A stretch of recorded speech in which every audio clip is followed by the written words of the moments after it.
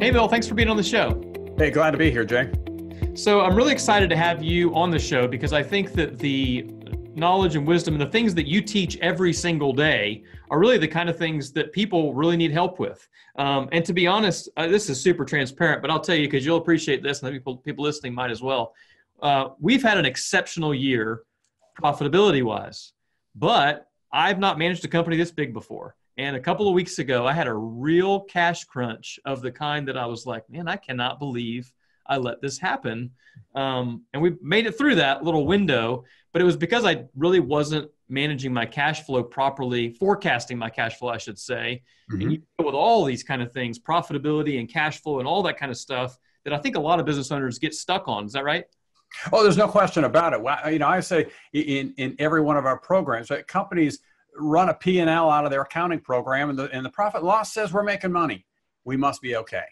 Mm-hmm your P&L will lie to you every day of the week. Yes, it right? will. It can tell you you're making money even though you're broke, right? You have to run the business as, as you experience, right? Based on the cash flowing into and flowing out of the checkbook on a daily basis. Yeah, and it's it's crazy because I feel super transparent even admitting that that I've made that mistake recently because I preach this stuff. Like I understand it from a technical standpoint and I could teach somebody else. But all of a sudden, I realized that there were a few things that we had left off from a forecasting standpoint that I hadn't planned for. And even though we're exceptionally profitable, I ended up in a real tight cash crunch just because of the way the dollars flowed. And that can be a big problem for a lot of people. And it's exciting to have you on the show because I'd love to dig into some of those things. But before we do, I, I want to rewind because I always, the purpose of this show is to give other entrepreneurs and business owners kind of a peek behind the curtain of the sure. reality of running a business, building something ultimately that lasts the test of time. And and you guys at Grandy and Associates have certainly done. You've been in business for decades. Mm-hmm. Um, so I'd love to hear just kind of behind the scenes, a little bit behind your story. You didn't start the business, but you've been there for a long time. Yeah. Um, and and what's your transition been like into the role that you have now? Well, it's interesting. You know, I, I never in my life did I dream that I would be here, right? That I'd be doing this. Uh, my background was in heating and cooling. That's what I went to school for eons ago, and you know, and, and got out of there. And I spent 22 years in wholesale distribution uh, with a, a, a, leading HVAC distributor, and and I spent the first 15 years of that in the field. Right, so I spent my time in basements and crawl spaces and attic spaces and rooftop units, and and, and, scraped my skin off uh, the knuckles, uh, you know, right along with the, the, the, our contractors who were in the field. And um, it was interesting because the first day I started, the president of our company said, uh, Bill, you got to know two things about this role. He said, number one, um, we're not hiring you to be in the uh, in the office. We're hiring you to be in the field, right? So I knew I was going to be out and about. And, and second one, he told me was kind of interesting. He said, uh, you can do your job any way that you feel you need to, as long as my phone doesn't ring. Hmm. Because if our customers feel that they have to call me to resolve an issue, then you and I have a problem. Right? So, you know, went about doing that, and I found out pretty quickly I could either be reactive, and every time one of our customers had a problem, jump in the car, go out there, help them figure out what was wrong, or I could be proactive. And, and, and come up with ways to teach them how to recognize the problem so that when it came up, they already knew how to resolve it. And I didn't have to get involved. And so I spent a lot less time in the car doing that. And so, uh, you know, I basically put together programs where I was teaching in, in, in four and five different cities a, a week, right? And I, I'd, I'd uh, put these programs together and I'd work all day, you know, visiting customers. And that night I'd teach classes. And, and I did this uh, you know, every year and, and, and, and it paid fruit in a big way. Well, yeah, I did that for 15 years and then moved over into the sales and marketing side of our company. Now we were a at that point a $60 million company. And what I found is that um, I missed being in front of the classroom. Mm. Right. When I was teaching, I could see the light bulb go on. Yeah. Right? Yeah. I've got you know, all the, the, these business owners and, and technicians looking at me. And, and when the light bulb clicked, I knew it. It was there. They got it. And to me, that was a drug. Right. That, that really, uh, that's why I did what I did. Mm. And when I moved over into the sales and marketing side, all that was gone. Yeah. Right. And, and, and some people are fueled by the big sale, right? Some people are fueled by uh, uh, uh, really, you know, you know, making things, you know, happen within the company. Me, it was helping this guy get it. Mm. Right. And I missed that. And so after eight years of doing that, and quite frankly, being groomed for uh, you know, the, the, the, the presidency of the company, I, uh, one day it hit me this, I had no passion for that. Hmm. I didn't want to do that. So I, I, I opted to, to, to, leave the company, but just wasn't sure where I was going to go. And, and at the same time, I was also trying to, uh, to help our contractors be more profitable because if you think about it in distribution, your role in life, you're a middleman, right? So your distribution is to try and get people profitable enough to, you know, make some money and buy stuff from you and pay you for it. Uh, and so as I was doing that, I stumbled across Tom Grandy and, and uh, this business training that he did. And I actually hired Tom to come in and do some training. And, and as he taught that first workshop, I knew, right? In fact, on day number two, Tom and I went out to dinner and I asked him, you know, tell me a little bit about his story. And uh, I went home that night and told, called my wife from the hotel room and I said, I don't know where, don't know when, but at some point that man and I will be working together. Hmm. And three years later, I left the dist- uh, left the, the company I was with uh, joined Grandy Associates at that point, and and I worked alongside Tom at that point for about seven years. Now the the the uh, I you know took on more and more of the responsibility of the company, but it's after about seven years. Now this is a company who's been here for a couple of decades already at this point. Mm. Uh, you know, and Tom had a very entrenched way of doing things. Um, but as many company owners have experienced, um, if you're not calling the shots, sometimes it can be a little bit unfulfilling. There's always, you know, the new guy coming up always has this uh, idea of how you could do things better. Right. And I don't necessarily know that my way would be better. It was just totally different. Mm.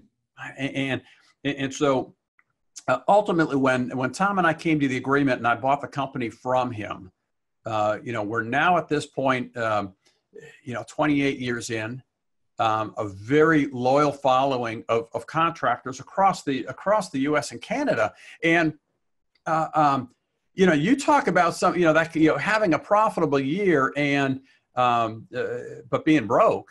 Um, I had to learn that same thing. Yeah. Right. We're teaching this every day, but like you said, sometimes putting into practice what we teach isn't always easy to do. Right. It's easy to tell somebody else what they need to do. It's so, so easy. Right. That's right. right. And so yeah, there was a, a, pretty major learning curve at that point. And, and, and the other thing is that, you know, when, when you know, my predecessor owned the company. Um, you know, and, and, Tom is still with us today. He's still active in the company. Um, he's just not in that leadership role. Uh, when he owned it, it was a one-man company for all practical purposes. He had one revenue generator. He had some office staff, but one, he was the revenue generator. In effect, at that point, you own a job. Yeah right? You own a job, and I didn't want to own a job because that in itself, I identified pretty quickly. That was one of my shortcomings. Is is that if I was the only one producing, then I couldn't stop producing. Mm-hmm. Because the moment you stop producing, the moment the revenue stops coming in, and that creates a whole nother host of problems. And so um, I didn't want to do that. I wanted something more for what I was doing. Mm-hmm. Right? I wanted to own a company, not a job so that those were some some pretty major uh, struggles and, and and and things that I had to change at, uh, you know as we went through the uh, those those first several years of the company here. Um, and, and, my company today looks totally different. I mean, it's nothing like the company that we bought uh, years ago. Yeah, it's amazing to just think about that journey. So many things I want to unpack from from just the things you're just talking about. The first is the idea of knowledge versus execution. Mm-hmm one thing to know something, it's another to actually do something about it. And I think one of the things that happens too when you're starting, not, not that you were starting a new business, but you, you kind of are when you, over time. I feel like even for oh, me, yeah. I've, been, I've been doing the same business for 20 years, but it's nothing like the business that it was even five years ago, certainly not like it was 10 years ago. So I feel like I'm constantly starting a new business within my business, kind of, you know. Well, there's no question about it because, you know, again, if you look at it, even if five years ago you were the best at what you did in your market, there mm-hmm. was nobody who could touch you five years. If you're doing things the exact same way today, you're eating somebody else's dust. Yeah. Right? Because they are always changing, always improving. The market is changing. And if you're not changing with it, you're getting left behind. And yeah. so you, you have to completely you know, uh, you know, reinvent and, and change and improve what you're doing on a daily basis because if you're not, again, you're not going to survive.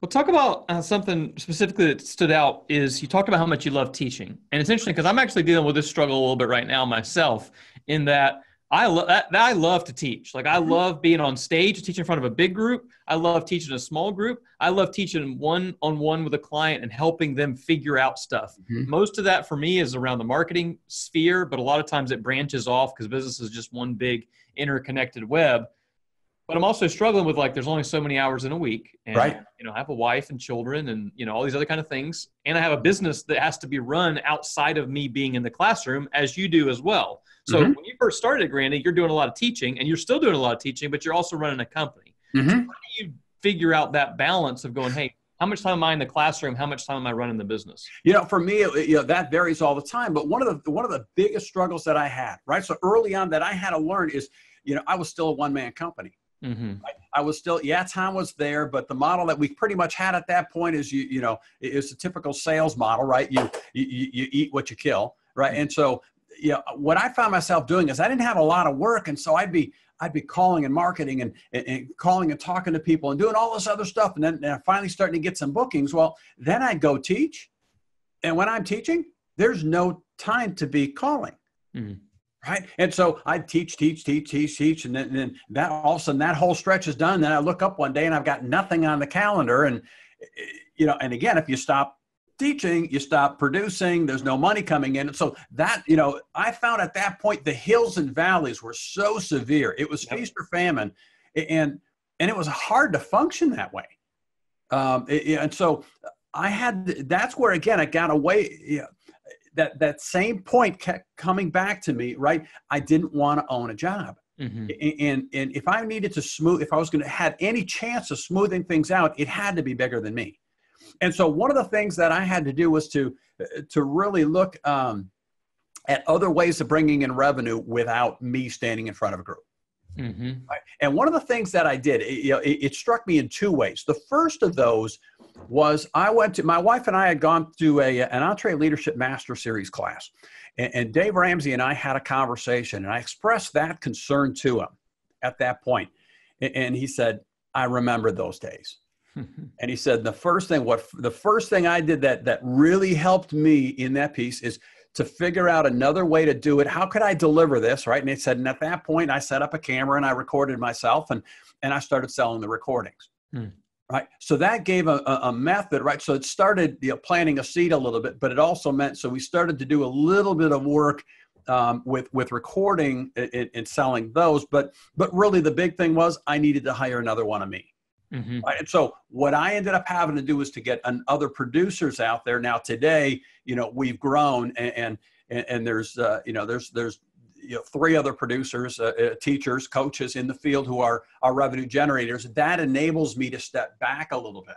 Yeah. Um, and, and, spend a little bit more time in two areas that you mentioned. The first one of those is running the company, mm-hmm. right? The old, you know, uh, uh, Gerber, right? Work on your business, not in your business. And, yep. and, and, I really had to get to that point. Um, and the second thing was to be able to have a little bit of family time, mm-hmm. right? Because because I had a couple of years in there where family was really uh, uh, that was stretched pretty thin and, and so you, you know how to focus on that piece of it and and that's a, you know i find that's always the struggle is that piece is how do you um, uh, i tell business owners let me put it this way i tell business owners all the time you don't have to grow it's okay to be small mm-hmm. Right you can stay where you're at but if you do want to grow uh, um, th- then you have to figure out a way to no longer be the producer. Okay. And, and so in my case, the way that that looks is um, I still do a lot of keynote addresses. I do a lot of conferences where it gets me in front of contractors. I can do some teaching at that point in time. Um, and then I, I, I, intentionally reserve a couple of um, targeted workshops that, that uh, it, it's a real benefit to the company if I'm the one there teaching it. Mm-hmm. Right? my other trainers can do as good a job. In some cases, they can do a better job than I can, right? Um, in, teaching those programs, but every once in a while, there's an element there where it, it benefits to have me. I'll be intentional about picking those, right? But um, you know, one of the things that I had to do, and, and, and this helped not only the business, but it helped my family, is I literally had my administrative uh, assistant go into my calendar and block out every Monday and Friday mm-hmm. from you know throughout our entire cycle, right? So for us in our company, summer is our slow time. Our clients are all too busy in the middle of summer to to go attend track classes, so uh, we kind of get a break and I can stay home. But, but we went through Labor Day all the way through Memorial Day, and she blocked out every Monday and Friday. And, that meant that I was not going to be teaching on a Monday or Friday. That gave me time more time in the office. It meant I didn't have to travel on weekends. It meant that, uh, yeah, again, I had a little bit of sanity, right? Because if you don't create some space, you know, in the head, you, you, in the mind, then then it's tough for you to keep track of all that stuff. And so, again, if if, if you want to grow, you, you can't be the lid, right? If I want to work in the business, then then then again, that's okay. But then I'm the lid, right? I'm the one who's preventing that growth, and and that's a conscious decision that you have to make right? Do I want to be small? If so, there's a trade off. Yeah, gosh, I feel like you dropped about five or six different knowledge bombs. I don't want people to miss them. Uh, the first one, when you're talking about working on the business, uh, not in the business, and the whole idea of job versus business, you talked about Gerber. Some people may not have heard of that. Um, it's a book that's very popular called E Myth. If you've not read this, if you're thinking about starting a business, or even if you've been in business, you must read that book. It's an absolute, Absolutely. like, buy it right now today over anything else and go read it. Um, the other was knowing when to scale. I think that anybody out there who has run a business for any period of time has experienced exactly what you said. Uh, I've experienced it both without a team and with a team, mm-hmm. where you don't have enough business, so you get out there and you hustle and you go find more business. Mm-hmm. And then what mm-hmm. happens if you're good at that? Uh, you get too much business, and now you got to go do the work to actually achieve whatever you sold. Now you're going to go and you're going to kind of hunker back down. You're doing the work but you're not going to get more business and there's no right. there's no systems in place to, to smooth that out and there are some ways to do that even with a smaller even as an individual but it's almost it feels almost impossible with until you start to have the right people around you to kind of right. delegate out okay i have somebody that's always working on developing new business i have somebody mm-hmm. who's always working on doing things that are revenue drivers the other thing you talked about was and if i can jay in there you know that also introduces fear yeah right? sure. because uh, okay, when I'm in all of a sudden that famine mode where all of a sudden I've done all the work and there's nothing there and there's no, nothing else coming in, I still got the house payment. I still got the grocery bills and the doctor bills. And, and, and yeah, it's just me, you know, but all of a sudden it changes the way you run the company because you're operating from a position of fear. Yeah, which is super dangerous. And I've done it before. And gosh, every time that I do, it usually doesn't end very well. That's and, right and, it, and you have to get out of that. The other thing you talked about, which I want to make sure people don't miss these things because they're really important, is understanding why you're growing. Mm-hmm. It is so easy. I've done this too, of to grow for growth's sake, whether that's to hit a revenue number or a profit number or a people number or a client number or whatever the number is that you're chasing, especially if you're one of those high high achiever type mm-hmm. personalities. But it is it can be dangerous to do that because a lot of times you end up in places where you're not you're not prepared to be there yet and right. you achieve these growth goals, but you go sit back and you go, well, why am I doing this? I mean, I had a season where I'd hired a bunch of extra people, but I really wasn't, and I was really good at growing revenue, but I was still trying to, I was just barely growing the profitability at that point. And it's like, well, gosh, I just grew my overhead by, you know, 100% and grew my profitability by, you know, 3%. Is that worth it? Mm-hmm. Probably not, you know, and it's up to each person, but knowing why to grow is really important. The other one you mentioned, two more things, because I just want to draw them back in. Yep time blocks is huge. You talked about that in your schedules. If you're not doing that out there and you're listening, you got to do that. And multiple revenue streams. I mean, Bill, I think you and I both will attest to that is one of the number one secrets, if you will, of lasting a long period of time is having those multiple revenue streams because there's always going to be a time where one of those gets a little bit more contracted mm-hmm. um, than the other. So I'd love to, for you to talk about that a little bit more because I think it's so important when you were starting to trying to figure out what were those other revenue streams going to be, mm-hmm. how did you kind of come to those solutions? How did how did you start to figure out what those revenue streams might might be for you, and what are those revenue streams for you? Well, you know, I have to admit that you know the first one was was obviously uh, just doing some recording because uh, uh, I figured if it worked for Dave Ramsey, it'll work for Bill Kinnard. Yeah. Right? So, uh, but but quite frankly, struggled with that a little bit, right? Because knowing how to do that. Mm-hmm. I'm, uh, you know, I'm an HVAC guy, so how do I know how to, you know, put together something like that? Uh, at the same time, um, you know, it's looking for some of those other opportunities, and, and and you know, we mentioned earlier this idea about having to uh, kind of reinvent yourself, you know, all the time, mm-hmm. right? What what do we look like? What are we doing? How are we doing things? You know, as we started to look forward a little bit, I started looking at, um, you know, really what was happening in the market, and and and uh, you know, again, finding people you know, amongst our client base, the trades industry, there's such a shortage of people at that point. So that puts a pinch point on, on, on the business owners uh, and, and, how do we make that happen? How do we get their people up to speed a little bit quicker? And so that's one of the things I started looking at down the road a little bit is, is what could happen if they didn't have to travel, if they could, you know, attend the training from their place, right? And at that point, you know, we could uh, start to put together uh, individual training programs. So we, you know, went out and found out what to, you know, getting into, into e-learning a little bit. You know, so this online uh, uh, learning, self-paced online stuff. But I also knew full well that, uh, you know, the, the times that I recorded a video and just played that video, um,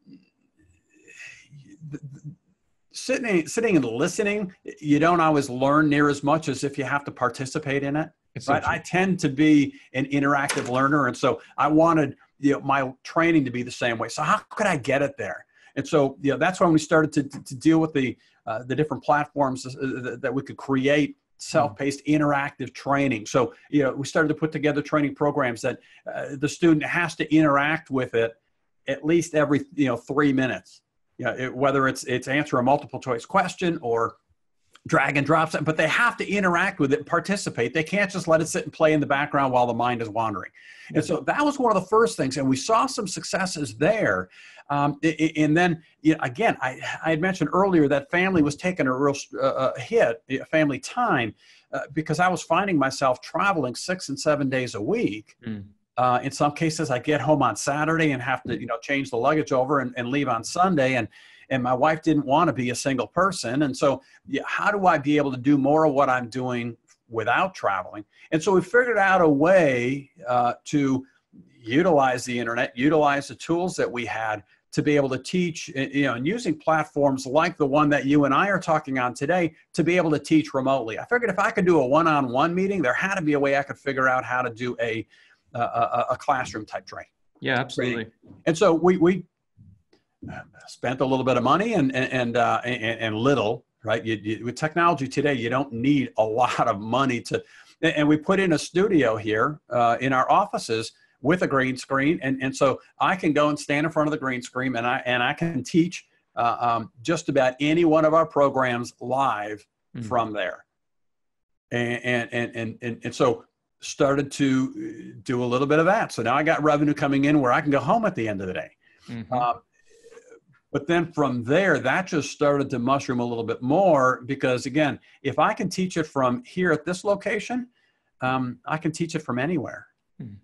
And so now some of our, even though our, our uh, other coaches and trainers aren't located here in Green Bay, Wisconsin, where we are, um, there are other places in the country.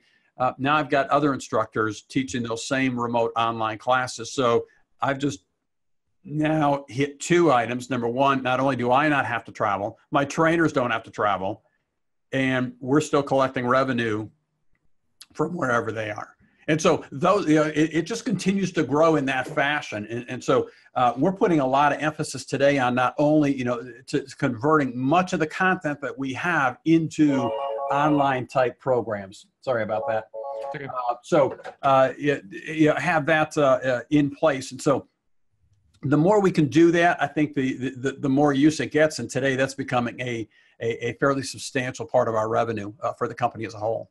Yeah, and I think it's interesting because whenever you start new things like that, what, what can be difficult, I think, for somebody who's been in business for a long time is they've got this, you know, golden egg over here where the vast majority of the revenue comes in and they start this new thing over here and it's really not producing that much and at first it's probably taking a lot of time and energy because mm-hmm. you're doing something like live stream you're going to figure out what camera you need and how are you going to get it online how are other people right. going to sign up for it and there's all these other questions that you haven't dealt with before where you just had to show up and be in front of a room um, and so those barriers can often prevent people from moving forward and i know for me we've had plenty of situations like that and, and i think figuring out when to press through that pain of, mm-hmm. of the early startup and, and when to let it die can be really hard. Um, how have you in those scenarios kind of thought through, hey, is this something we need to keep fighting through and, and it's just in the early stages or something we need to go ahead and just kind of put on the shelf and, and maybe look at it again in a couple of years? Well, you know, again, I think that, um, you know, there's two elements to that. Um, one of them, uh, because you have to deliver what you're delivering, right? You still have to maintain the level of professionalism and quality in everything that you do, right? Mm-hmm. And, and, and, and so I was striving for that quite a bit in some of the, the, the platforms that I was delivering. And, and, and, I heard a line at one point, right? Uh, uh, yeah, at some point you have to ship. Mm, right? That's right. You, you don't let perfection stop you.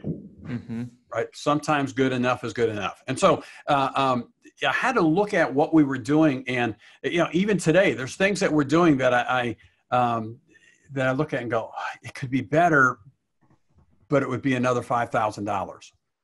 Well, it is it is acceptable. That's right. Right. And, and, so that was one of the things that I had to look at quite a bit. And, and so, are we still delivering the quality, or is it just not up to you know? It, it, is it not up to standards, or is it not up to my standards? Because sometimes mine can be a little bit too high. Right. And, and, there's a little bit of a difference, right? When I go back and start polling our customers, and that was one of the things that we started doing is okay, uh, uh, what did you think? Tell me about uh, uh the content that you that we delivered?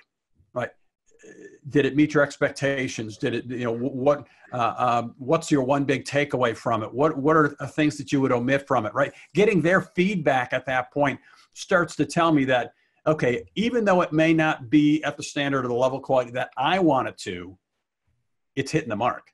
Yeah. And so that to me is, it, it tells me, okay, we press on, right? We keep doing this, even though the revenue isn't quite there. Um, and so that was one of those uh, those elements that we had to uh, uh, certainly you know keep factoring in. It is can we deliver it? Can we start to bring in some revenue, even though it's not exactly where we want it to be? Yeah, I mean, I think that, that that stuff is really huge, and I deal with this a lot on our end because we have, you know, we build websites for clients. You know, mm-hmm. actually built yours, um, right? GrandyandAssociates.com if anybody wants to go check it out. It's a great looking site, uh, yes, if I do say so myself. Um, is that we end up in a lot of situations where clients get months into a project and they you can tell they're that perfectionist personality mm-hmm. and they mm-hmm. just don't want to launch the website because it's not quite where they want it to be and i always tell them like look i dealt with the same problem with our own website mm-hmm. i got into it my team had to go hey you're doing the same thing to us that our clients do to us which is just nitpicking it to a point where like it what is there right now in draft mode that nobody in the world can see except for us is so much better than our existing website that's already sitting out there. Mm-hmm. just launch the thing and we'll keep making it better. And this podcast is a perfect example. I mean if you go back and listen to some of the early episodes the audio was bad. I didn't even record video. Now i record video. But my first couple video recordings i was basically like in a closet almost in our office essentially. Now i have a video studio and you know so i just think it's that I, I always say, and my, I say this to my team all the time, it's progress over perfection. Yep. Um, and some personality types have a really hard time with that. And we still have to produce a good product. It still has to be, right. there's a certain level that's like a minimum, like it has to be at this level or we can't it can't be seen. You know, you can't have a bunch of spelling errors out there. You can't have inaccurate information. You can't have a video feed that's not loading. You know, um, that kind of stuff. Yeah, we, we, worked with a with with another company with a software product uh, for several years within this company, and and, and the uh, the gentleman who designed and owned the software, right? We did the marketing and training for it, uh, but the gentleman who owned and designed it was that perfectionist, mm-hmm. and he would not allow I mean, it had to be 100% before he would release it. And, the problem was that it took forever to get any changes, to get improvements, anything out there. And, because again, it was never, I mean, you know better than anybody with software, you're never at 100%. Never. And so, uh, quite frankly, this incredibly awesome tool which which could help contractors in a major way, died by the vine. Mm-hmm. Because yeah. There, you know, there's two problems. Number one, it had to be perfect, and therefore he'd never release it, and therefore he had no revenue coming in. Right, and, and and he's going. Well, I can't sell it until it's perfect. Well, I'm, you know, again, unfortunately, this incredible hmm. software is is not in the industry anymore today as a result of that. Yeah, I mean, I, I think that that's that happens all the time. But I also I also will say I had a, a old pastor who always used to say people often fall off one side of cl- the cliff or the other. Mm-hmm. And I also have other clients, um, one of which who you know and I love deeply, but I won't you say my name, who likes to just go, "Hey, let's just launch it." And I'm like, "Well, hold on. yes, I want to launch it, but man, we're not even close. Like it's there's a certain level of let's just let's just push it out there and see what happens." And I'm like, "Okay, I, I get it, but like let, let's just let's get some more details done." And I'm not the detail guy either. Sure. Um, but so there is that like there's that balance, but I also think that's where the value of having a really good team in place comes into play. So somebody else can double check it and see you from the outside. And that's what my team did with our own website. And they're mm-hmm. like, Jay, you're you're doing that. I'm like, okay, that's fair. You're right. It's it's better than what we have out there. There's nothing that's grossly inaccurate. Let's launch the thing and then mm-hmm. let's make it. Let's look at some real data and keep making it better. Yep. Um, totally agree with you. But that's hard. So you can fall off either side of the cliff for sure. Yep. Gosh, I feel like we've covered so much. Um, and I what I really appreciate, Bill, about this conversation for you is is just the transparency of like running a business is hard. You yeah. know, like there's a lot of moving parts, and and even somebody like you who really knows the intricacies of how to manage the numbers and and and, and how you literally teach other people how mm-hmm. to be profitable in their business. And yet there's still seasons where like that's what I do. Like I teach people do, do do their own marketing. I teach them how to clarify their message. And there's still times where I'm like, man, we're oh, gosh, how are we missing this? You know, it's so easy for that to happen. So, um, what I'd love to hear, what, what, I always like to transition to at some point, you talked about this a little bit earlier, that, that, you went through a season where you had a real hard time finding the balance. It's 100% work and zero family, or maybe it's 95% work and 5% family, or mm-hmm. there's all these different buckets of life. I feel like there's mm-hmm. you know, your own personal health. You've got friends, you've got faith, you've got family, which is then kind of broken up into further buckets of spouse and children. And everybody's demographic and setup is a little bit different. But the whole work life balance thing is something that's thrown out there a lot. I, I really yeah. don't like that word because I don't think it's about balance. I think it's about seasons of life. I agree. But I'd love to hear your perspective of, you know, you talked about time blocking a little bit, and that obviously helps. But what are the, some of the things that you've kind of done to go, hey, how can I protect my marriage mm-hmm. Running a profitable business? Uh, what are some of the things that have worked or not worked for you?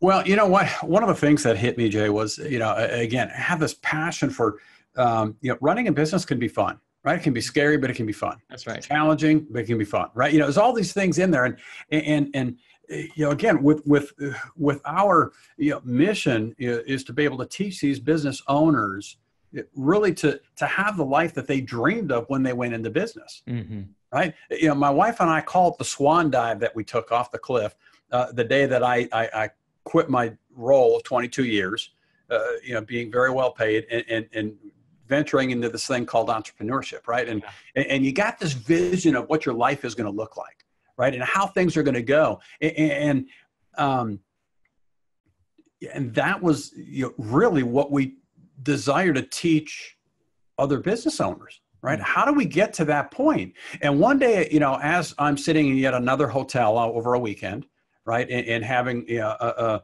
a, um, you know, a, a, short conversation with my wife, because at that point, you know, we're not talking a whole lot because of, you know, hey, I'm never around. What do I know what's going on at home, right? And so, you know, it's all that. And, and finally, it dawned on me, going, wait a minute, what about that vision that we had for our company when we started it mm. right? We're teaching other people how to do the stuff that we're not living ourselves. Yeah.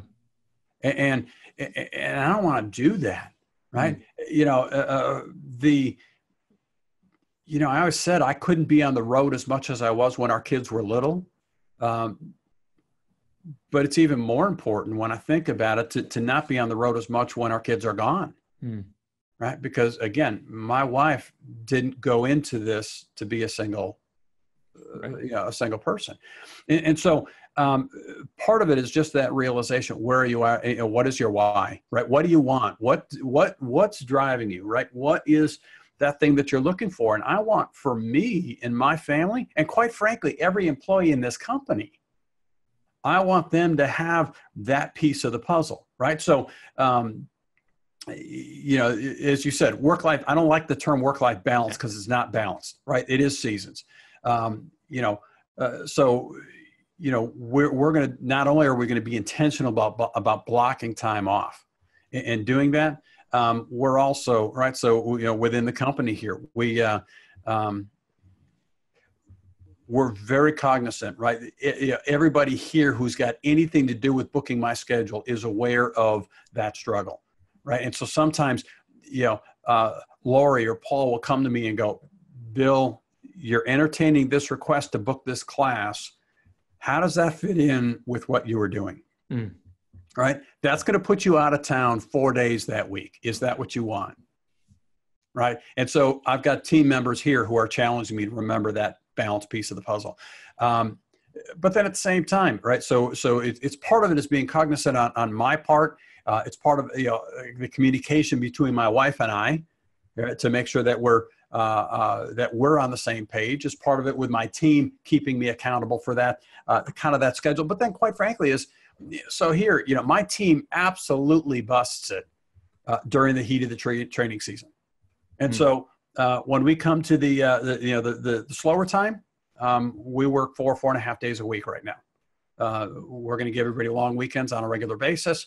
Um, we're going to uh, do things that are fun uh, outside of that because they're working too hard, right? And, and, and, because so many business owners forget that piece of the puzzle. It's what do I want out of this thing, right? And, and, and I ask, you know, ask every uh, uh, business owner at classes I teach, do you want to do this until the day they put you in the ground? Hmm. And, you know, in, in reality, the answer is no, right? Which means at some point we've got to be getting, you know, taking something out of it now.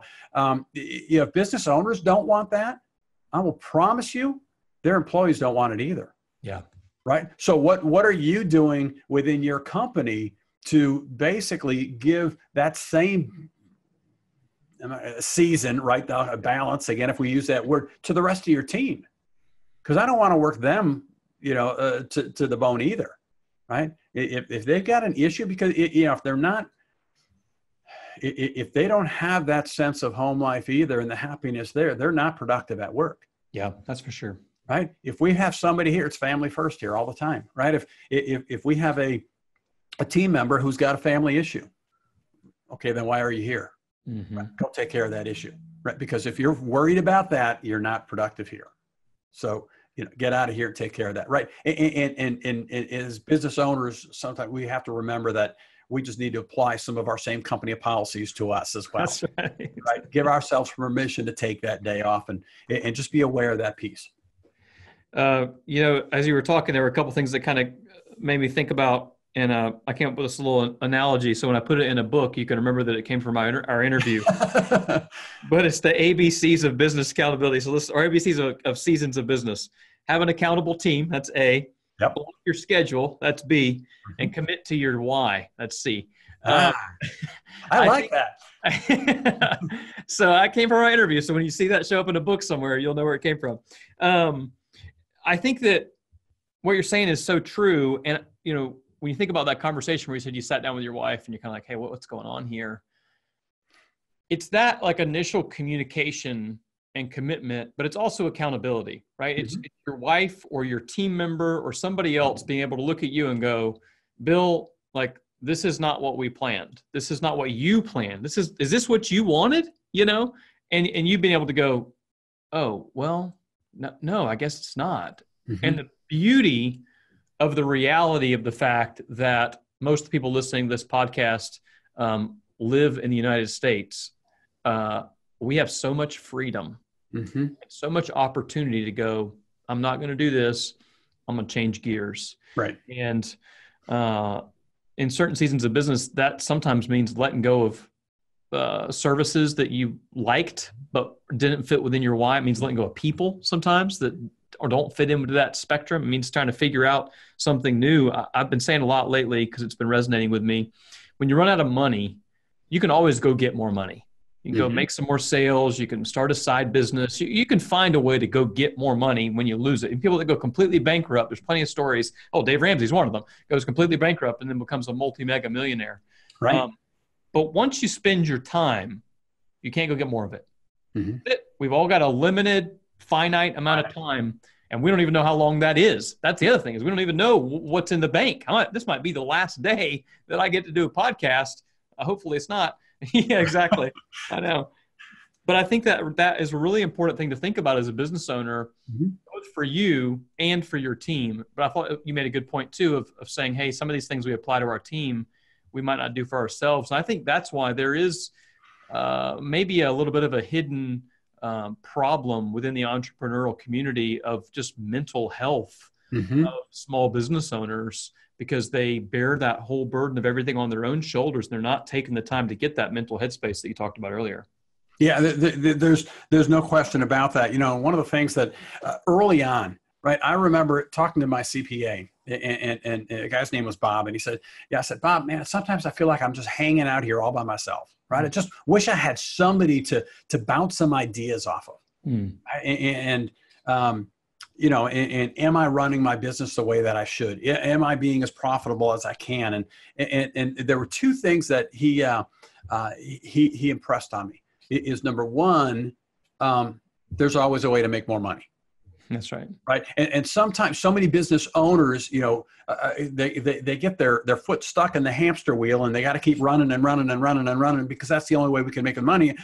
There's more ways to make money. Yeah right and, and so but sometimes we gotta we gotta do things different right you know the old adage right if you want something to change you gotta change something and so you know you have to try something different right and and and, and there's always a different way don't get so caught up in the way that you do it or the industry does it or my trade does it or whatever else is there's always a different way right? There aren't a lot of other trainers who have the full fledged green screen in the studio, right?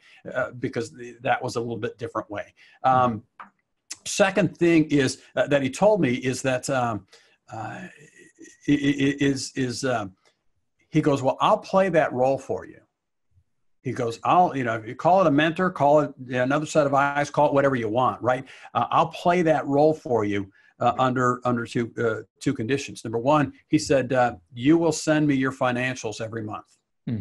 And I'm going, wait a minute, I got to share my financials with somebody else. And he goes, you will share me your, fi- by the fifth of the month, you will send me your financials every month. And by the 10th of the month, you and I will sit down face to face, nose to nose, toe to toe, and we will go over your numbers. Mm. And it was interesting because uh, in, in, that particular uh, time, um, he wouldn't just look at my, you know, the, the, the, financials and say, oh, boy, you had a lousy month. That sucks, right? Uh, you know, he'd go through and go, wait a minute. Two months ago, you told me this number was going to change because you were doing X. It didn't change. Why? Mm. Right? So that, that accountability thing mm-hmm. was so important. And having that mentor there to kind of challenge me in the way that I thought and the way that I did things um, did more to get me outside of my bubble, outside of my box than any other thing that I did. Now it's interesting. We haven't met, right? He's retired a long time ago.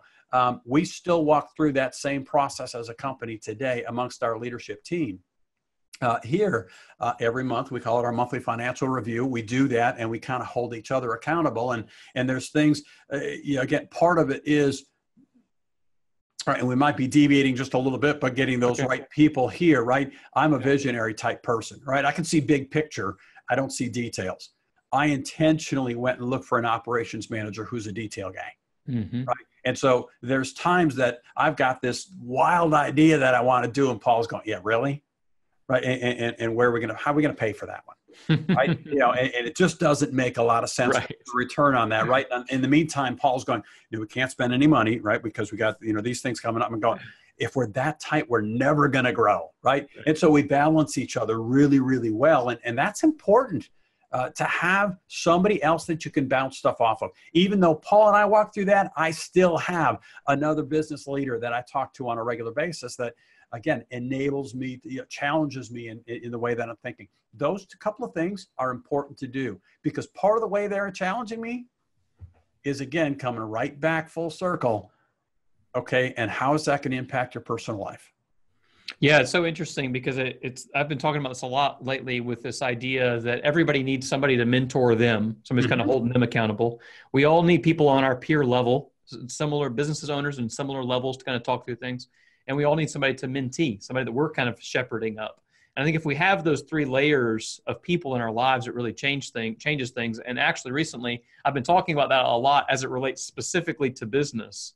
Mm-hmm. And my wife and I are having some conversations about some other things the other day, and she's like, "Well, you talk about this thing with business, but you don't have it over here in these pieces of your life. And I was like, oh, right.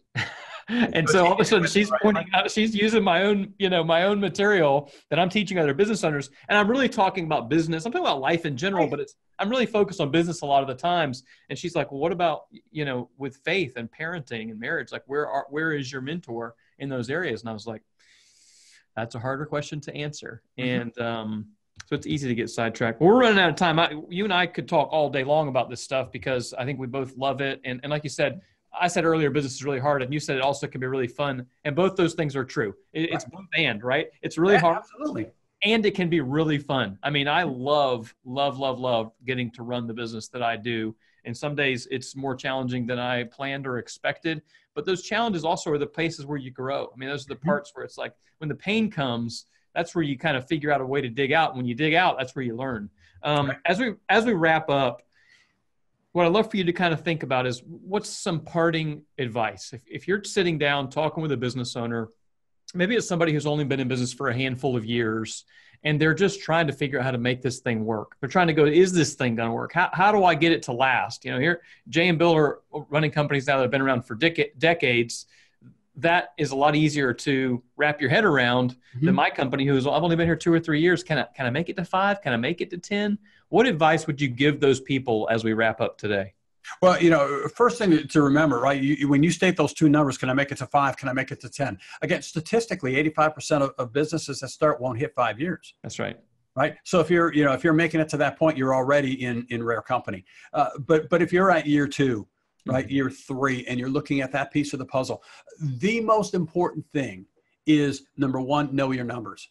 Mm. Right. If you don't know your numbers, you can, the rest doesn't matter right what does it cost you to operate your company from a cash flow perspective right don't get caught up in your p&l right mm-hmm. what does it cost you to run your company from a cash flow perspective and then you have to charge what you need to charge and then the second element to that comes into well if you say well i can't possibly charge that much first, first you're wrong right mm-hmm. the second question is all i got to do is build more value right? And, and, and yeah, again, I don't care what you do, right? You're providing a value, and the value goes way beyond the actual product that that you right. When I'm talking to a to a heating and cooling contractor, they don't sell furnaces and air conditioners, right? They sell comfort and peace of mind. Mm-hmm. Right?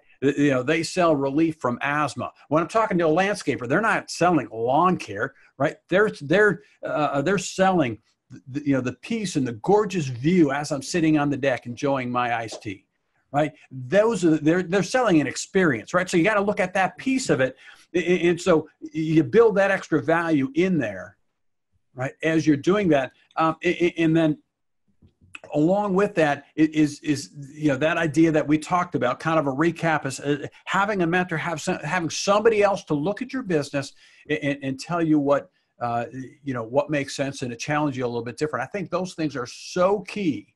Um, as you go through those things um, you know one of the things i've been challenging my team with over the last uh, uh, really four months is look at the experience from the customer's perspective.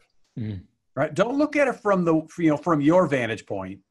Look at the experience from the customer's perspective and how do they see what you do mm right? And and it, it changes the way that you do what you do right? When all of a sudden i go through this and and you know yes it's functional but does it does it how does it look if i were buying this product right? If from somebody else right and and, and by doing that it starts to change the way uh, that you look at really your your um, your products your services and what you do um, and if you do that, it enables you, I think, to build in the additional value, right? That doesn't cost anything else, right? These little things that you can do that, that to change what you're offering, and all of a sudden the value goes up, which means the price goes up, which means your your margins go up, which means your profitability goes up, which means again you have margin not only in your company but you have margin in your life, and that's that's so important.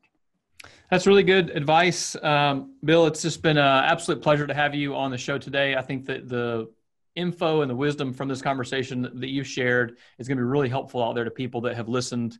Um, if you're out there and you're thinking, gosh, I'd love to hear more from Bill, maybe look at some of these trainings and, and, help run a more profitable business, go check out his free webinar. You can get it at grandyassociates.com. Just go in there and click free webinar, and uh, you can get access to his training. Obviously, Bill's focused really heavily on some of the service and trades business, HVAC, plumbing, electrical, as he talked about, but a lot of those concepts can apply to a lot of different businesses. Uh, it, it, it, would apply to mine as well. So blocking and tackling is blocking and tackling, right? That's right. Absolutely. Bill, thanks so much for being on the show. It's been a real pleasure. Absolutely, Jay. Appreciate uh, being here. Thanks. Hey, I hope this video has helped you with some tips and ideas to build a business that lasts. Make sure you subscribe to our channel so that you don't miss out on the next videos that we roll out. And more importantly, for some awesome free resources, head over to our website at buildingabusinessthatlasts.com. You can get a free copy of my book there where I tell you how I have built an agency that's grown year over year for the last 20 years in a row. So go grab that, buildingabusinessthatlasts.com, and make sure to subscribe to our channel. Thanks. We'll see you soon.